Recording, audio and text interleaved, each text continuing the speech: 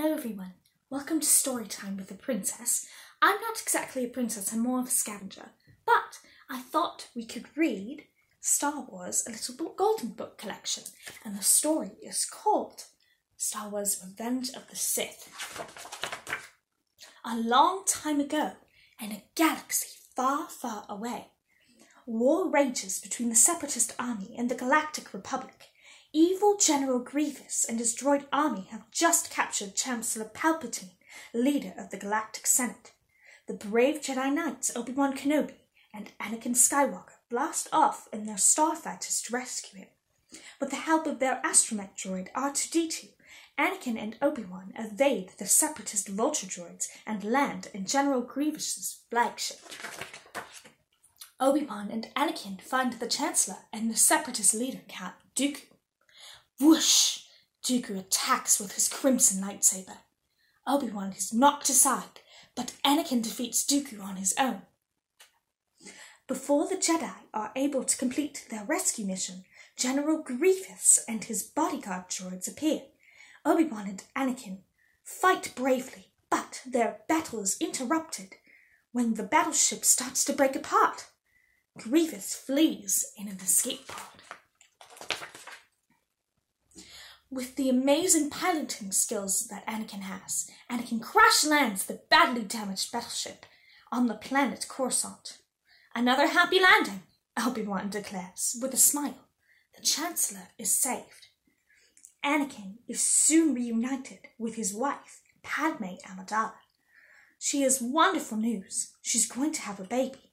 Anakin is so happy, but he has terrible nightmares that something bad is going to happen to the, pad- to the baby and Padme. Meanwhile, the war is escalating throughout the galaxy. Jedi Master Yoda speaks to the planet Kashyyyk. He speeds to the planet Kashyyyk to help the Wookiees battle the separatist droid army.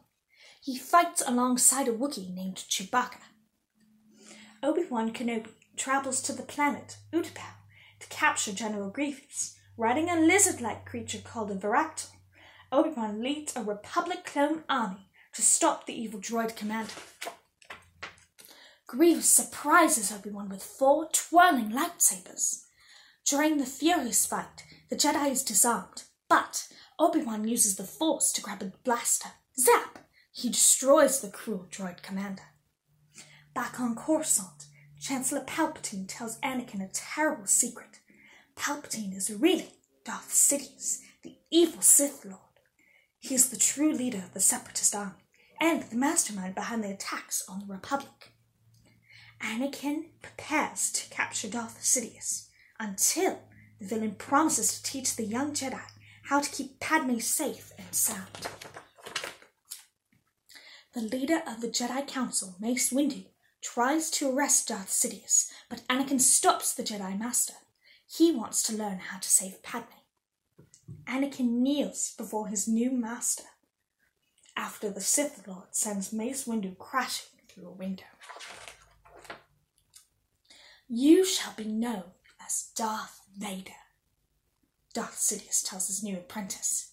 Darth Vader is sent off on his first wicked mission to destroy the Jedi and their temple. Darth Sidious gives a secret command all across the galaxy. His loyal clone army begins to destroy the remaining Jedi. On Kashyyyk, clone troopers turn on Yoda. He fights back and flees in an escape pod. Obi-Wan barely gets away from his clone attackers on Utapau. He returns with Master Yoda. Darth Sidious goes before the Senate. He declares that the Republic will now be the first galactic empire. He will be its one and only leader for life, the Emperor Palpatine. Obi-Wan knows Anakin has turned to evil and must be stopped. He stows away on Padme's ship as she flies to her husband. On the volcanic planet Mustafar, Padme sees what Anakin has become. You're breaking my heart, Padme tells her husband. Obi-Wan and Darth Vader begin a dangerous duel above the rivers of flowing lava. Sparks fly as their lightsabers cross again and again. Finally, Obi-Wan strikes Anakin and sends him tumbling into the lava below. I hate you, Anakin cries. Saddened that he had to destroy his friend, Obi-Wan leaves the planet with Padme. Across the galaxy, Yoda confronts the Emperor. The Jedi Master and the Sith Lord begin an epic battle between the light and dark sides of the Force. But the Emperor's evil attack is too great, and for mighty Yoda, he ended up defeated. Then the tiny Jedi escaped and goes into hiding on the swamp planet Dagobah. Padme gives birth to two babies, a boy and a girl. Before perishing a broken, of a broken heart, she names them Luke and Leia. A senator named Organa agrees to take Leia to Alderaan. He and his wife will raise the girl as their own. Emperor Palpatine rescues the burned and battered Anakin from the lava. Medical droids encase him in a robotic suit to save his life. His scarred face is hidden behind a black helmet. He begins to breathe. Darth Vader lives. Obi-Wan brings baby Luke to the desert planet of Tatooine. Anakin's stepbrother, Owen Lars, will raise the child, but Obi-Wan will always watch over him. The Jedi knows that when Luke is ready, he'll bring a new hope to the galaxy.